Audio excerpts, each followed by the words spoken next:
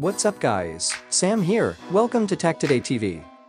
The month of August in 2020 marked two important milestones for Samsung. On August 5 that year, Samsung announced what would be the last smartphones, with the Galaxy Note branding the Galaxy Note 20 and Galaxy Note 20 Ultra, as the Korean giant decided to shift focus to its foldable phones. The same day, Samsung also revealed that it would be committing to supporting many of its Galaxy phones and tablets, both flagship and mid-range, with three generations of Android upgrades. The Galaxy Note 20 and Galaxy Note 20 Ultra qualified for Samsung's new three-year upgrade policy. And, well, we thought we would remind owners of these devices that, with the Android 13 update, that policy has now expired. As for updates to One UI, Samsung's software overlay for Android smartphones, we can't really be sure if it's the end of the line or not. It's possible the Note 20 and Note 20 Ultra will get One UI 5.1, which will debut with the Galaxy S23 series in February 2023. But we will have to wait and see whether that actually turns out to be the case. The Galaxy Note 20 series launched with Android 10 out of the box, which means it will not be getting an update to Android 14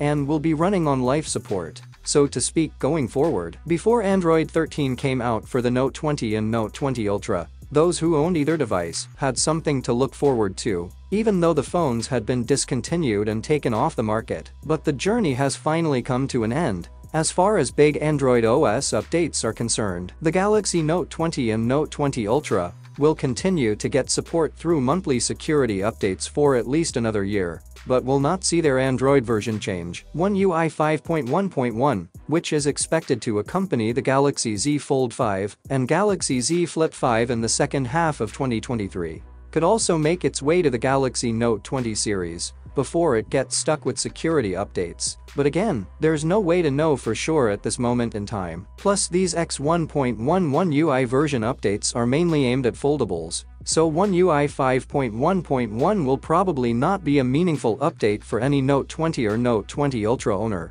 even if the two phones are eligible for it. Thankfully, any Note lover who wants longer software support and access to the next couple of versions can still get one, only now it comes under the Galaxy S Ultra branding. The Galaxy S22 Ultra is an excellent upgrade over the Note 20 Note 20 Ultra, though we would recommend waiting for the Galaxy S23 lineup, particularly the Galaxy S23 Ultra, to get an official launch before making any decisions. Of course, you can also choose to keep your Note 20 or Note 20 Ultra. Share your thoughts and comments below. I hope you found our content interesting, and if you did, please like and hit the subscribe button. See you in the next video.